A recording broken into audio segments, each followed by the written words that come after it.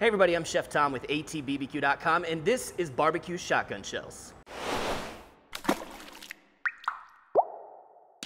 Today we're cooking up a highly requested recipe from you guys. It's barbecue shotgun shells. Now, if you're not familiar with this barbecue phenomenon, it's essentially a tube of manicotti pasta that's stuffed with whatever kind of meats and cheeses you can come up with, wrapped in bacon, cooked on the smoker, and then glazed in barbecue sauce. Pretty great party treat and really honestly just an all-around fun recipe. So typically you're gonna see these shotgun shells stuffed with either ground beef or sausage. We're actually gonna do a couple different meats today. We're gonna do uh, this smoked sausage, this is the, our Hillsdale smoked sausage, a local smoked sausage. It's, it's still raw, but it is smoked.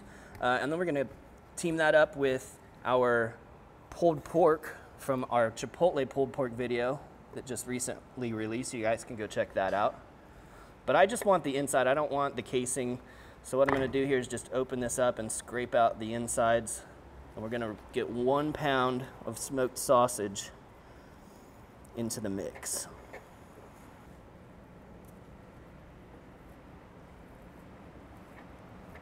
So you got your pound of smoked sausage. We're gonna add to that one cup of pulled pork that is cooked. The sausage is gonna cook inside the, the manicotti. And then we're gonna add one cup of cheddar cheeses. We've got a few different cheeses in here. There's a smoked white cheddar, a sharp cheddar, and a smoked sriracha cheddar.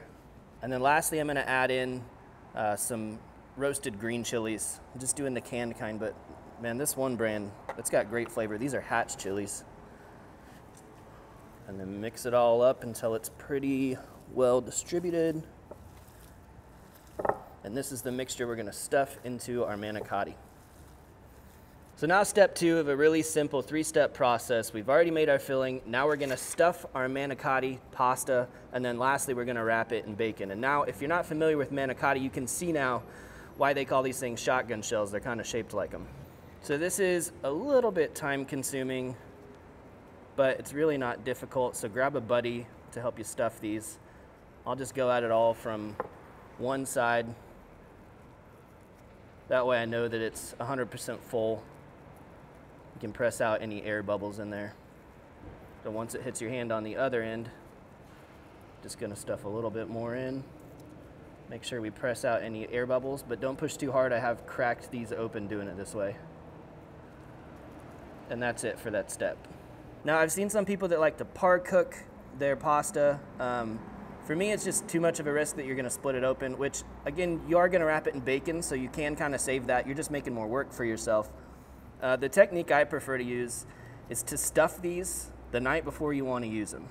Because when they sit with the filling in them all night long, it hydrates this shell and it'll soften by the morning. So when it's got that filling inside and the bacon from the outside, it's kind of hydrating from both sides and it just needs to rest for a while. So I'll do these a day before. So now step three, wrapping bacon. I like to just drape it over the top and start rolling. All the way down to the other end. That's it. It'll stay in there on its own. It'll stay in place. No need to pin anything. So this is the point in the process where you're gonna wanna throw these into the refrigerator overnight. Just throw some plastic wrap on them and give them time for those shells to soften up. So you can see now with that overnight rest, totally pliable. So that pasta is softened up, which means we're ready to season these and get them onto the smoker. So for the seasoning today, we're using Yoder Smoker's pork rub, just a great all-around barbecue rub. You're gonna hit it on all sides with just a light coating. We don't wanna overdo it because of course there's already plenty of salt going on in here. And then we're going to transfer these over to a wire rack just because it's easier to move them all at once rather than individually place them onto the smoker.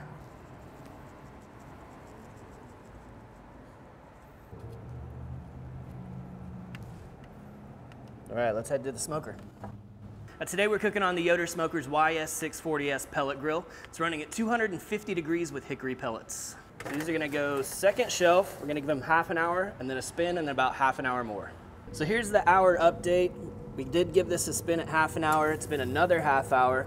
Uh, the target temperature inside, it's, it's surpassed the minimum of what we need of 165, but that's not quite as important as what's going on on the outside, the texture of the bacon. We wanna make sure this is rendered and has a little bit of texture on it. And we're not quite there yet, so we're just gonna let it ride a little bit longer. We're right around an hour and a half now, guys, and these are looking really good. Got some great texture going on on the outside. They're definitely rendered out, so you're not gonna have like chewy bacon. It should be bite through. So at this point, we're ready to go ahead and hit these with some barbecue sauce to finish off.